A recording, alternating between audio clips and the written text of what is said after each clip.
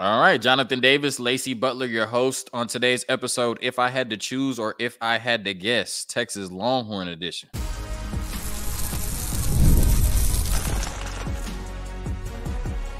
You are Locked On Longhorns, your daily podcast on the Texas Longhorns.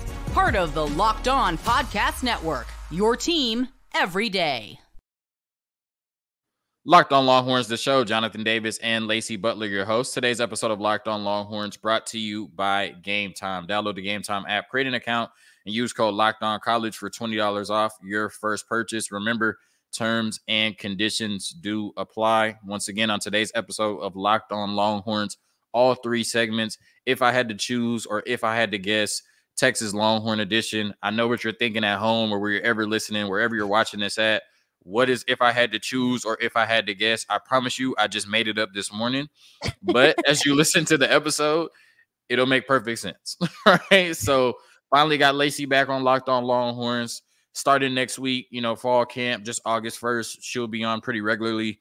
A lot going on in July, you know, namely Hurricane Beryl, you know, but we're figuring it out as we go, right? We're figuring it out as we're We're glad go. you're So- okay though. We're glad everything's good. We're glad you're okay. You know, every, ev hey, everything could always be worse. So right, it could. And so you know, uh, the fact that you're good, the fact that we're still even able to put out shows and everything is a blessing. So we're all good here. We're we're happy. We're Right. excited.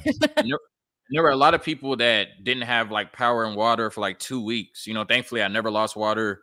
Power came Mhm. back on pretty quick.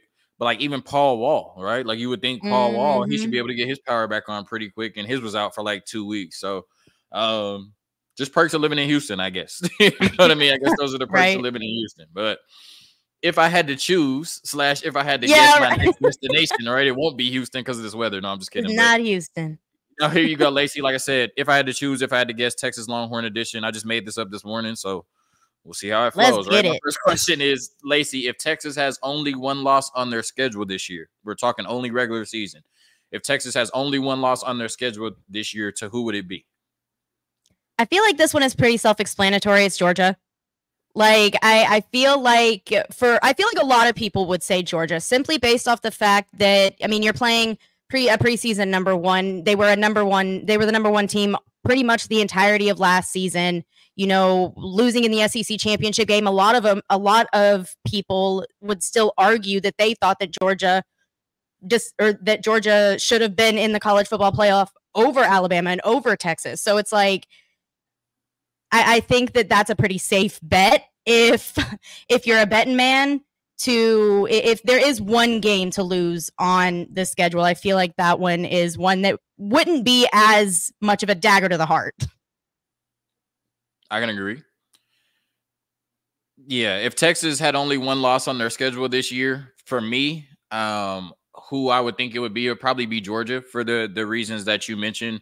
Um, I think in terms of quarterback position, they can match what we have in Quinn Ewers with Carson Beck. Um, I've said it a million times, but I had Max Chadwick on from Pro Football Focus, and you know he talked about how Ohio State and Georgia are the only two teams that each position group is ranked in the top 10 in the country, from quarterback all the way to safety, ranked in the top 10 in the country. And Kirby Smart does a really good job of making Georgia feel like they're not Georgia. Right? I don't know how he does yeah it, but you know, with them not making the playoffs last year, he has BS to They've got sell the right? Biggest chip can- on their shoulder right now have the biggest chip on their shoulder this year for no reason. So if I had to pick one loss on the schedule, then of course it would be the best team that Texas is going to play. Probably the only team Texas won't be favored against at the time of kick. It's going to be Georgia. Lacey, if Texas has only two losses on their schedule this year, who would those two losses be to? I said Georgia and Michigan. You know, Michigan, week two, tough, going to the big house in a very hostile envi- environment, a very well known, amazing college football environment. It's new for m- most of the entirety of our team outside of Quinn Ewers, who is not even played, you know, but he, he's been to the big house. He's been in that environment. So he, he still calls him the team up north. But I I think a lot of people are underestimating Michigan a lot with how much they've lost with a new coaching staff, all of that stuff. But a lot of people aren't really taking into consideration what they're actually returning, and they're returning a lot of very core guys defensively, offensively. Don- Donovan Edwards, um, Kenneth Grant, Will Johnson, those types of guys that were impact players for them last season. They they were able to keep them, and Sherrone Moore showed that he could go in and win and keep up the Michigan standards. So I mean, that that that's a game that I'm I'm nervous about, especially it being earlier on in the in the schedule with with it being week two. Right. Um, if Texas only has two losses on their schedule this year, uh, to me, I would probably have the same answer. I would think Georgia and Michigan. Um, you know, Michigan, when we look at that game, you know, it's on the road. It's going to be 110,000 people strong. And, you know, that's the type of environment that shouldn't rattle Texas, but could rattle Texas. Also, when you look at how Michigan's going to want to play in that game, they're going to have a new quarterback, right? A quarterback making his second start presumably against Texas, and so they're going to want to run the football. Like you said, Donovan mm-hmm. Edwards, uh, you know, cover athlete at NCAA 25, back up to Blake Corum last year, but a lot of people thought that Donovan Edwards was their best back. They're going to want to run the ball a lot, right? And without T'Vondre Sweat and Byron Murphy, we can't come in and say we're boasting the third best run defense in the country again because we don't know what it's going to look like. So um, I think that that's a game where Michigan is going to try to ground and pound. They're going to try to shorten the game, win time of possession, and just run out the clock with them having mm-hmm. a lead um, and you know, in terms of defense, I do think that they have the type of defense with you know Mason Graham at D tackle. You talked about Will Johnson at corner. They have really good linebackers. Just you know, a ton of talent at every position on that defense. That is the di- type of defense that could come out and shut down a Texas offense while they keep you know time of possession and keep the ball you know in their hands on offense. So I do think that Texas will beat Michigan in week two. But if we had two losses on the schedule, the two teams I would probably pick for those two losses would be Georgia and Michigan to hand those out to the University of Texas. Now it's where it gets interesting. If Texas has three mm. losses on their schedule this year, to what three teams would it be if they went nine and three in the regular season? I'm very, very interested to see what you say on this. But for me, I'm gonna get I'm gonna get a lot of hate on this one. But I said that I think the three losses on the schedule would be to Georgia, Michigan, and Arkansas. I think I, I not that let, let's just go ahead and make it clear. Texas is the better football team. I'm not going to sit here and say that I think that Arkansas is the better football team. But but but but with the with where exactly it fits into our schedule between Florida, between Kentucky, both of those games are at home.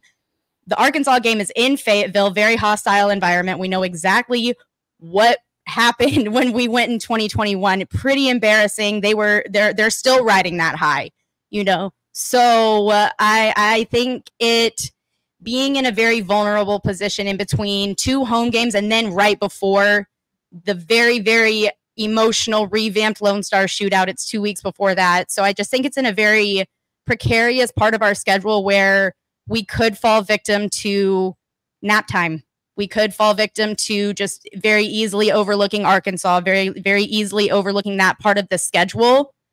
And Sam Pittman said him said it himself. You know, Arkansas fans they hate Texas more than they love Arkansas most of the time. So it's not going to be an easy game, and I think that that's definitely a game where we could kind of fall asleep at the wheel and set up as a trap game. Yeah, so let me say that first of all, Texas is not going to go nine and three in the regular season. No, nine, no, nine this is in the regular season next year would feel like five and seven did in 2021. I'm yeah. being dramatic, but it would be a huge step back from what we did last year. Even if we're taking a step up in competition, even if we're moving to a new conference, major disappointment if, if we go nine and three. Three losses on their schedule this year, I probably would receive even more hate. Yeah, I think the three losses would be Georgia, Michigan, and Texas A&M. If we had three losses, right, and I've already talked about Georgia and Michigan. This is why I think Texas A&M could potentially be a loss, right? Mm-hmm. Kyle Field is one of the hardest places to play in college football. There's going to be a lot of burnt orange there for sure. It's going to be a lot of Texas fans. It's going to be a lot of Texas A&M fans, right? I'm assuming that at the point of this game, Texas will have a lot more to lose than Texas A&M, right? This is not me saying that Texas A&M is going to be bad or anything like that this year but Texas is going to be fighting for a SEC championship berth. Texas is going to be fighting for seeding in the playoffs. Like, and Texas is just big brother, right? Mm. so this is one of those games where you win it, it's like, oh, okay, cool, you won it. You lost it, it's like, what? You lost that mm-hmm. game, right? Yeah. Where A and M just gets out there, gets to go out there and play free with house money.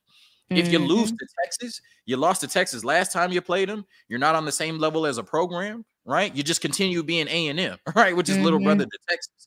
But Yeah. if you beat Texas, all of a sudden us taking their baseball coach doesn't matter. Nothing Yeah. else matters but the fact that they get to talk about beating Texas and one of the best teams we've had in over a decade for the next calendar year. So I just think that there's so much surrounding this game that that pressure could weigh on the players. And in that situation, it could lead to A&M getting a victory because, like I said, A&M is strictly playing with house money. All they're trying Yeah. to do is go in there and upset Texas, where Mhm. Texas will be playing to beat A&M. They'll be playing to get into the SEC championship game, and all that, that pressure could build diamonds or it could burst pipes. All right, a quick word Yeah. from our sponsors. And then we get into the next segment of if I had to choose or if I had to guess.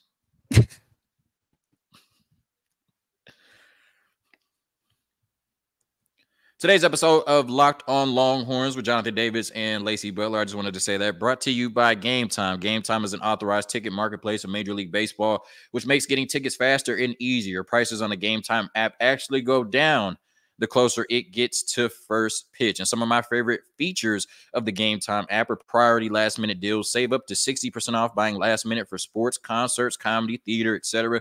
Flash deals save even more with exclusive in-app deals on select seats ahead of the game or event. Zone deals, you save even more when you choose a section and let Game Time choose the seats. All in pricing, toggling this feature shows the total up front with no surprise fees at checkout. Seat views, get a panoramic view from your seat in the app before you buy. And the lowest price guarantee or game time will credit you 110% of the difference. Take the guesswork out of buying MLB tickets with Game Time. Download the Game Time app, create an account, and use code Locked On College for $20 off your first purchase. Remember, terms apply. Again, create an account and redeem code Locked On College for $20 off. Download Game Time today. Last minute tickets, lowest prices, guaranteed. And don't look now, but the Rangers are only three games down in the AL West. So get your Rangers tickets as we make this push to win the division and get back to the playoffs to defend our crown as World Series champions. All right, shameless plug. You know what I mean? Had to get my Rangers in there. We're playing winning. I'm a baseball. Cubs fan, so I'm sitting here like, let me mind my business. Right, we're, we're we're playing winning baseball again, so I got to start talking about my Rangers again, especially when there's no WNBA games to August 15th. What are we doing? But anyway. So my next question for you, Lacey, if Arch Manning replaced Quinn Ewers this year, what would the reason be? I feel like we probably have the exact same answer. So, I mean, I, mean, I feel like the obvious answer is injury. You know, uh, he hasn't always been. Uh, he hasn't had a fully healthy season since his junior year. Since his junior year in high school. You know, so it's it, it's been a long time since Quinn has had a fully healthy, complete season at the quarterback position, and obviously we haven't seen it at Texas. So Arch Manning or the backup has had to step up and play a game or two every single year that Quinn has been here. So I think obviously Arch has the it factor. We saw it versus Texas Tech. I, I don't know about everybody else, but I was at the Texas Tech game and I was sitting there screaming. I was like, throw the ball, let him throw it. Because why not? At that point, we're up by a million. So that's all we wanted to see we wanted to see Arch sling it, you know, and so we were really, really excited. But I just think that to make the statement that we want to in the SEC as newbies, you need you need a healthy starting quarterback. So I think the only true, real reason, unless Quinn just comes in and absolutely just shits the bed, I just think that injury would be his biggest kind of inhibitor. That was the word I was That's a looking good for. word. Sorry. right? I was I was looking at your face. I'm like, what is she gonna come I was up with? trying to That was a good think. Thank you. Yeah. I had to create suspense with my face, but we do have the same answer. I just don't see a Yeah. scenario in which, you know, Quinn Ewers could get replaced due to performance, right? You Mhm. know, I mean, obviously it could happen, Yeah. but I just think he's too set up for to succeed with everything that's around him. But it's not just like Quinn Ewers will be a product of what's around him. Everything No. we've heard is that he's already a better quarterback visually than what we saw last year, right? So I, I don't think, you know, I mean, he's a Heisman candidate for a reason, right? I think he'll be good enough to be the starter throughout the season. Yeah. I think, like you said, you know, Quinn Ewers his junior year, he dealt with the hernia, and then your senior year, he opted out. Uh, the Alabama game, he gets hurt with the the AC joint or the shoulder, whatever it was, and then the Houston game last year, he gets hurt with I think the same thing, a shoulder injury. Mm-hmm. So, like mm-hmm. you said, his last three years as a starter, he has missed time due to injury. So, this question could have, you know, invoked a spicy answer, but I think the answer we both agree on that Arch Manning would replace Quinn Ewers because Quinn Ewers would struggle to stay healthy. It would have nothing to do with performance. My next question for you is if Sark, now he's already said that he would plan to use more than three wide receivers, right? Mm-hmm. But I mm-hmm. can only go off what we saw from 2021 to 2023.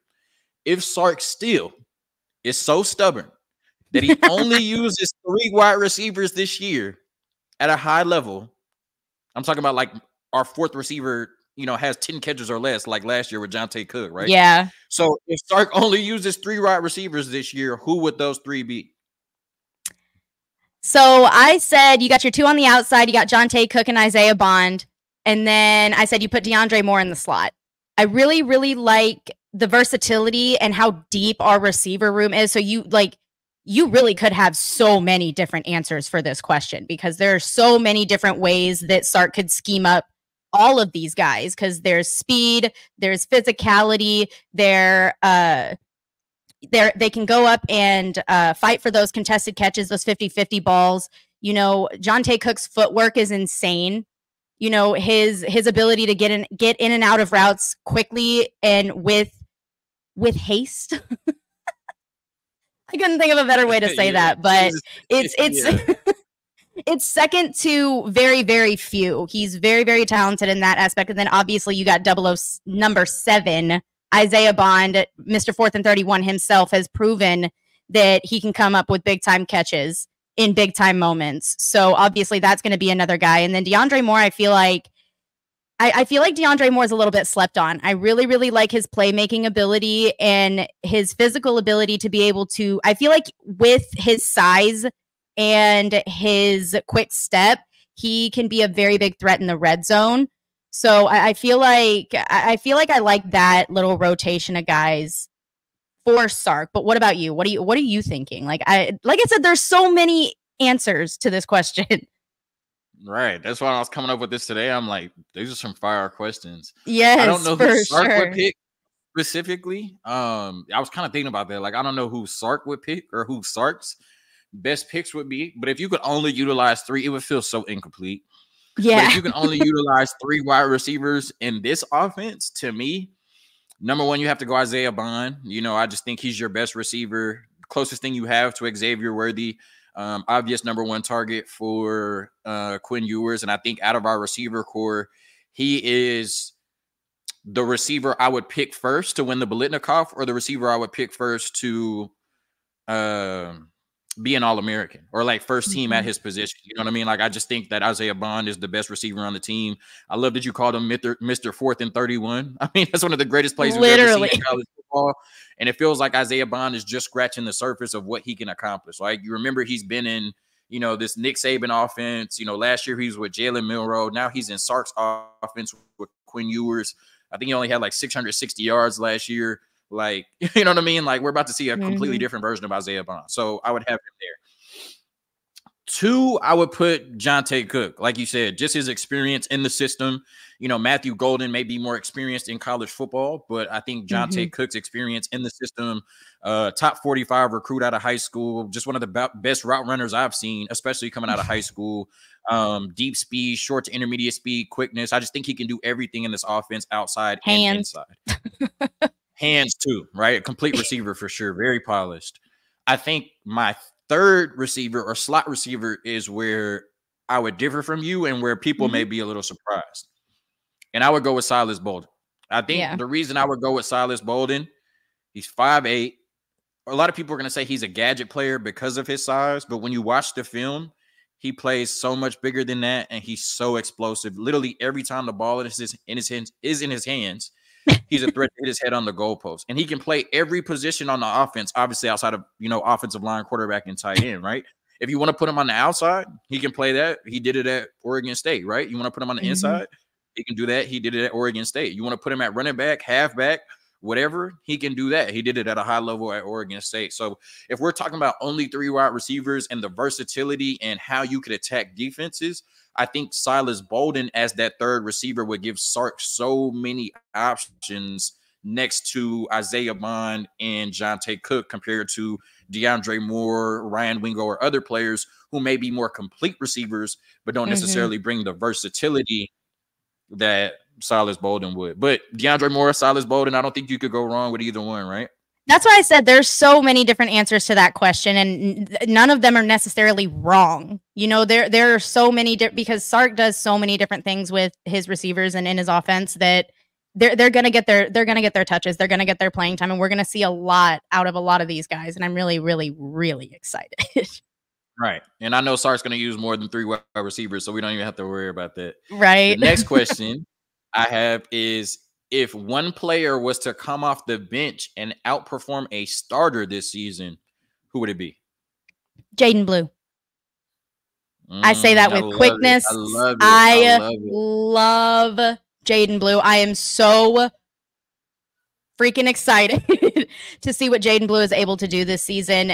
This is absolutely nothing against CJ Baxter. I love what CJ is able to bring to the table, and I'm really excited to see what he is able to do in year two but Jaydon Blue is lightning in a bottle. Jaydon Blue is Jaydon Blue is an expo- explosive play waiting to happen with the ball in his hands. And uh, number six running back in his class, I just really, really think that Jaydon Blue is going to wake a lot of people up this season with his ability to just find the hole and get through it. You know, he's he's gone and then he's not. You know, like you you see him disappear behind the lineman and then you just see him bust to, towards the edge and he's gone. You know, he, like I said, lightning in a bottle, super fast. I, I love his ability to catch the ball out of the backfield as well. I think that that's going to be a big way that Sark is going to be able to utilize him as well. And so I, that's that was a very very easy answer for me. what what yeah, about you? I know I, I know you got Jaydon, excited for that one. So right, yeah, I think Jaydon Blue's the best running back on the team. So you know, I mean, there's no you know gripe with me there. Uh, if one player were to come to come off the bench and outperform a starter this season, um, I have a lot of different answers for this. Yeah. Um, some very spicy, some moderately spicy. Um, I'm gonna I'm gonna give you a little tame answer because I'm, I'm, gonna save my spicy answer for a question later. I'm gonna say Colin Simmons, and I don't, you know, when you look at it, last year it was Anthony Hill, right? We knew mm-hmm. when David Gbenda was announced as the starter that Anthony Hill was better, and it only took about two yeah. games for him to yeah. show us that, right? But it's like, okay, you're going with David Gbenda, the experience, Anthony Hill. It's going to take him time, and then, like I said, Alabama game, he looked like a superstar, right? Mm-hmm. Barryn Sorrell and Trey Moore are likely going to be your starters at edge going into the season, right? Or it could be Trey Moore and Ethan Burke. Any like combination of those combination, players, yeah. Right? Trey Moore and then either Ethan Burke or Barryn Sorrell. But we know Colin Simmons is the all-world blue chip prospect that's supposed to be the next elite edge rusher at the University of Texas. So, like last year, where you just couldn't keep Anthony Hill off the field, right? Maybe this year, Barryn Sorrell or Ethan Burke start off really good, but by the end of 12 games, we're saying we can't keep Colin Simmons off the field. Yeah. like Barryn Sorrell and Ethan Burke are really good, but Colin Simmons is all world. So if I had to pick one player right now that could come off the bench and outperform the starters, it's our blue chip prospect in Colin Simmons. All right, quick word from our go. sponsors, and then we get into our last segment of if I had to choose or if I had to guess, Longhorn edition. I'm having so much fun today. I love this.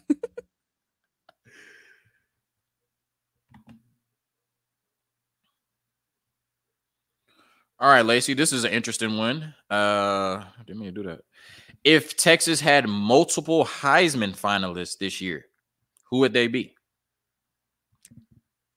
I feel like my answer, see, I feel like a lot of these answers I chose were kind of tame and kind of like pretty obvious, but I obviously went with Quinn Ewers and Isaiah Bond. You know, obviously I feel like that's the that's the one two punch. That's Quinn Ewers is already in Heisman talks, Heisman contention. You know, he's got like I think the second best Heisman odds according to Vegas. So obviously his name is being brought up in Heisman conversations already based off of what they've seen in the past and his ceiling, I think is what a lot of people are really excited to see with Quinn this season. But you got to have your number one target. And if Quinn takes the necessary steps forward that we think that he is, whether it be physically in his own self-confidence, in his confidence with his receivers, in the the way that the team chemistry works, I, I just really, really think that his connection with Isaiah Bond is going to be electric. I, am really, really excited to see that connection. And I think that if anybody is going to be in Heisman contention with Quinn, it's going to be Isaiah Bond because of what I, where I think that connection can be this season. Yeah. Um, I started to think of a different answer like while you were talking, and I was just gonna like make up something and say Anthony Hill. Now, if Anthony Hill does have like a Jaylan Ford 2022 yeah. season, 100 mm-hmm. tackles, like five sacks, five interceptions, and yeah. Texas is one of the best teams in the country, then you know certainly he could uh make some noise. But if we're talking about a top five or top three, then yeah, it's really the scenario you described. You know, I think the last time we saw it was Mac Jones and DeVonta Smith mm-hmm. in a mm-hmm. Sark offense, right? Yeah, but if literally. You know, Quinn Ewers and uh, I was about to say DeVonta Smith, if Quinn Ewers and Isaiah Bond are so explosive that Quinn Ewers statistically looks like the best quarterback in the country, and Isaiah Bond statistically looks like the best or one of the best receivers in the country, which certainly could happen, you know, in yeah. uh, a top five offense, which I expect it to be this year, then yeah, those would be the most two likely candidates to, you know, win the Heisman or represent the University of Texas for the Heisman would be Quinn Ewers and Isaiah Bond. If any true freshman was to make a freshman All American team, who would it be? So this one is the one that I had a little bit more fun with. I said Alex January. I am very, very, very excited to see what Alex January does this upcoming season. I think that with what we've seen, what we saw in the state championship game last season, he, you know, Colin Simmons is the face of the D line or was the face of the D line at Duncanville.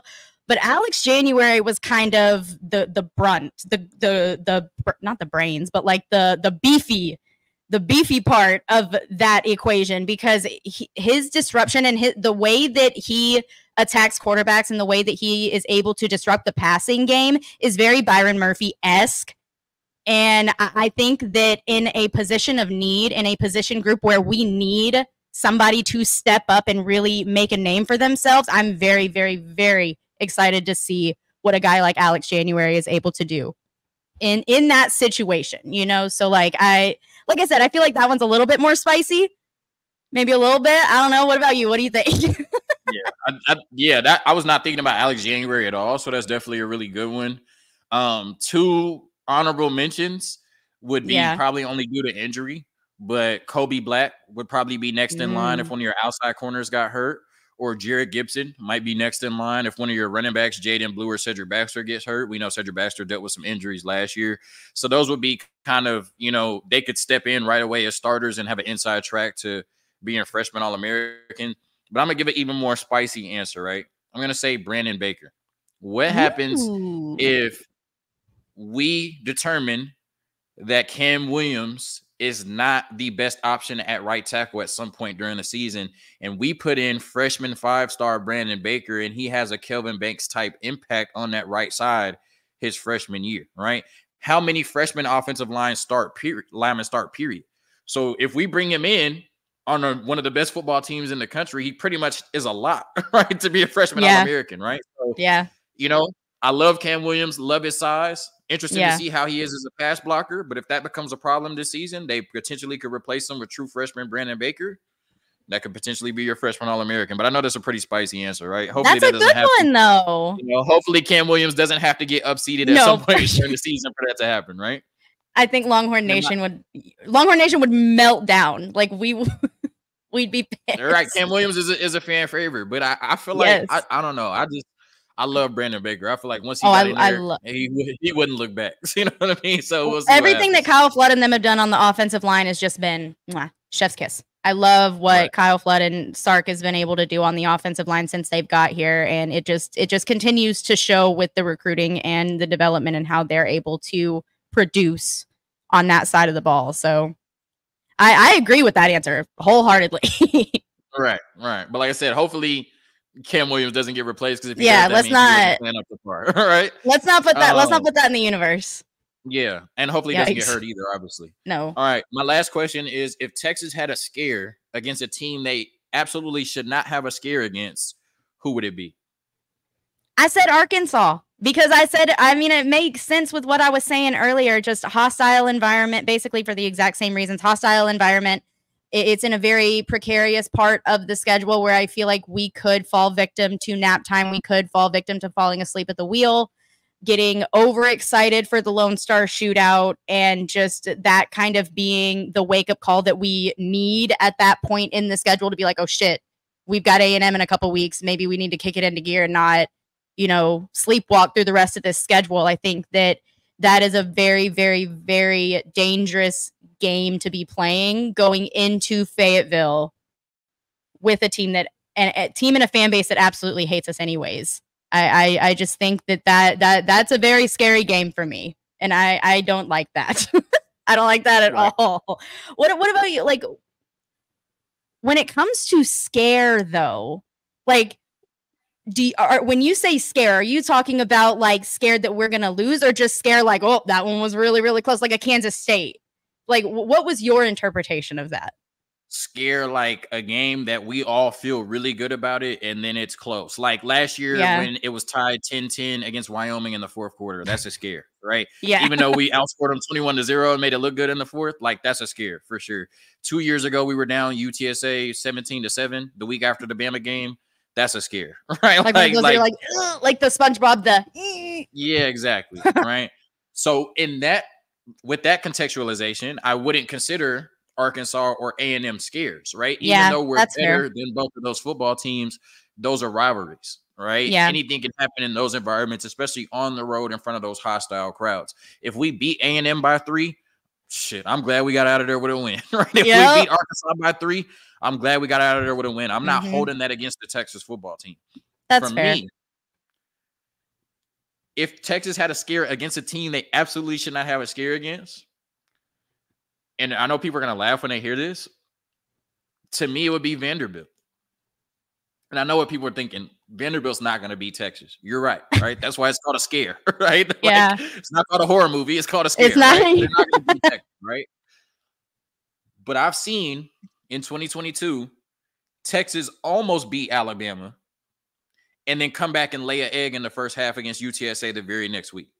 Mm-hmm. Then I mm-hmm. watched Texas beat Alabama on the road last year and then come back and lay an egg and be tied with Wyoming in the fourth quarter at home. Yeah. What's stopping this Texas team from beating Georgia at home or playing Georgia really close in a hard fought game, feeling themselves all week, flying down to Nashville, one of the best party cities in America, right? Mm-hmm and just completely disregarding that uh not Nashville, completely disregarding that Vanderbilt football team. And then having to be woken up at halftime because they disregarded the Vanderbilt football team. Now, when I Yikes. say scare, I don't mean Vanderbilt's going to be up at halftime. I don't mean yeah. that we think we're going to lose. But I honestly think that depending on how that Georgia game goes, it could be a one possession game at halftime against Vanderbilt. And to me, or to anybody else in Longhorn mm, Nation. That should that be scary. Scare. There you go. Right. So I think if there's any team that we have no business hanging around with that we're going to hang around with this year, I think it'll be Vanderbilt after the Georgia game. And then I think eventually Talon will win out and we'll turn up on them. But yeah. I do think that game will be relatively close until about after halftime, depending on how the Georgia game goes. Now, if Georgia smacks us by 30, yeah, Vanderbilt doesn't want to play us that next week, right? Well, if, think, if we get smacked by Georgia, if we get if Georgia smacks us by 30, we have other issues.